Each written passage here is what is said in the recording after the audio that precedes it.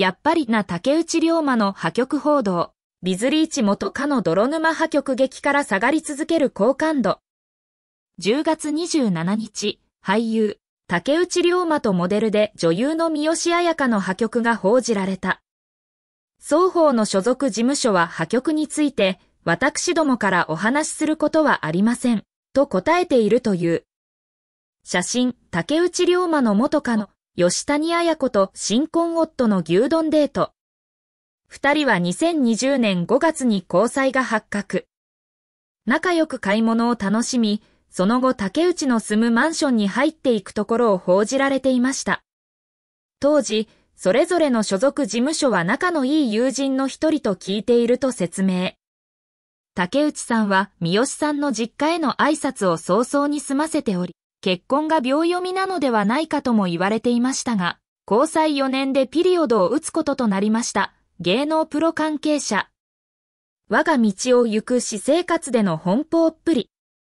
そんなビッグカップルの破局に驚きの声が届くかと思われたが、意外にもネットには冷めた声が並ぶ。やっぱりか。そんな気はしてた。なんかチャラチャラしてて安定するイメージがない。一緒に住んでいた前かのを追い出してまで付き合ったのにな。今度はちゃんと荷物返してるんかな。世間の冷めた声は竹内へと降り注ぐ。三好さんとの交際は、その前に竹内さんと交際し同棲までしていたという、女優の吉谷彩子さんをマンションから追い出す形から始まったのです。吉谷さんが建て替えていた約100万円ほどの生活費をごまかして金銭トラブルに発展したり、マンションに持ち込んでいた吉谷さんの荷物を返さなかったりと、竹内さんとの泥沼な破局劇があったと報じられていました。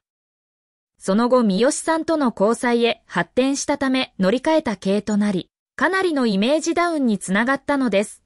前出、芸能プロ関係者。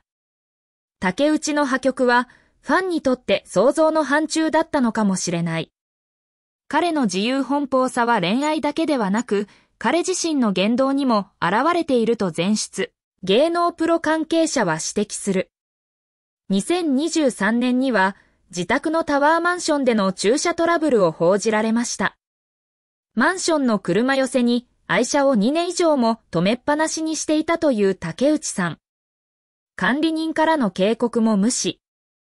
これもかなりの批判が集まりイメージは最悪に。生活も恋愛も周りは気にしない、そんなスタンスなのでしょうか。世間のイメージすらあまり気にしていないようにも感じます。我が道を行く竹内。今の彼の視線の先には恋愛よりも仕事が映っているようだ。今回破局の理由としてお互いの多忙によるものだと言われています。竹内さん主演のアマゾンオリジナルドラマ最新作、竜が如くビヨンドザゲームは今月25日から世界中で配信がスタートしたばかり。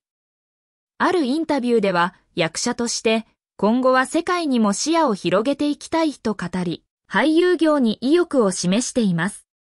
仕事への熱量はますます高まっているようです。前出、芸能プロ関係者。世間のイメージはさておき、今は恋よりも仕事に集中といったところだろうか。